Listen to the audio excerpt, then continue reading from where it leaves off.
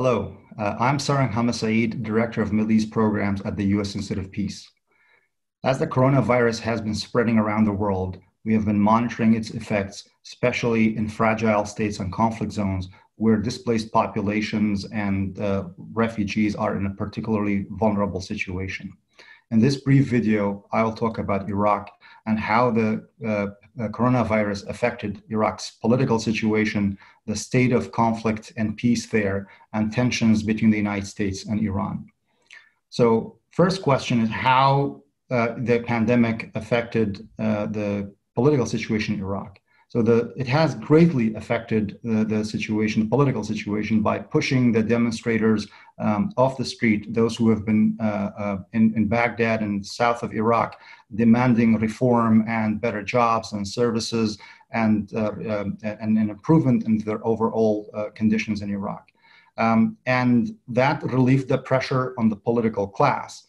Um, but the political class, uh, and to respond to uh, JP's questions on the constitution, they've tried to remain in the constitutional process. So the Iraq now has a third uh, attempt at uh, forming a government. Uh, uh, on April 9, President of Iraq, Barham Saleh, tasked Mr. Mustafa al-Kadhimi to form a government, and he has 30 days to do that.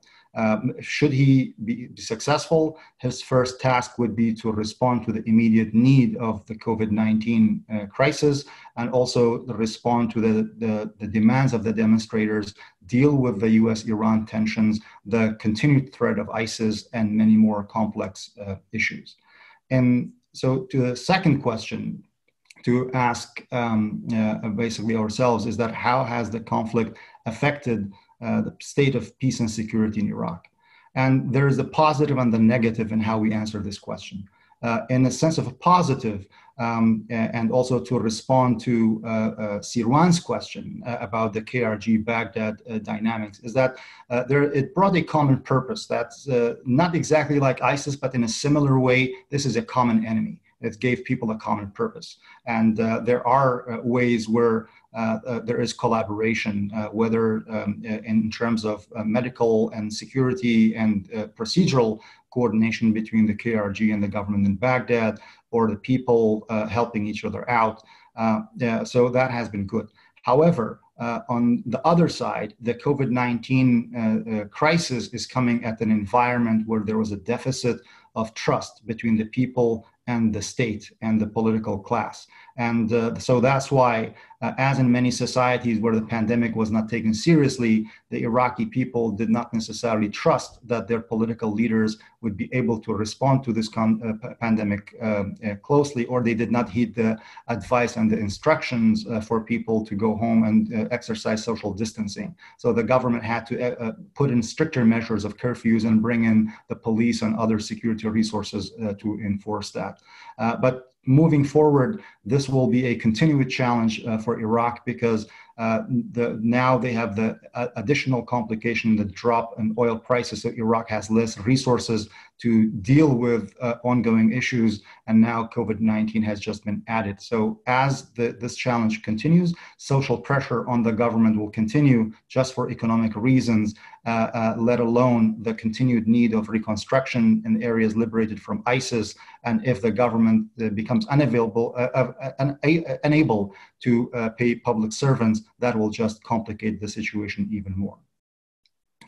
Uh, on the question of US uh, Iran tensions uh, in Iraq, um, the coronavirus has basically uh, resulted in both countries being more uh, inwardly focused uh, to deal with their own pandemic situation.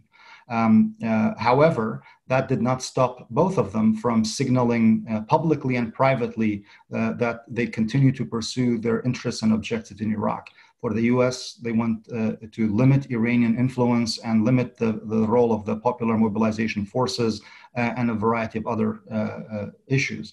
On the Iranian side, they want the US troops out, uh, limit US role, and, um, uh, and, and strengthen the role of the popular mobilization forces and others. so these tensions will continue.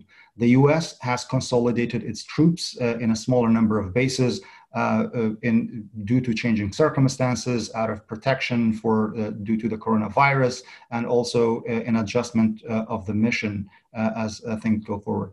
A strategic dialogue between Iraq and the United States has been set for um, uh, June of this year. So that will be a great opportunity for the country, to two countries, to work their, uh, through uh, their issues through dialogue. On the role of the international community, uh, it is really important uh, for that to continue.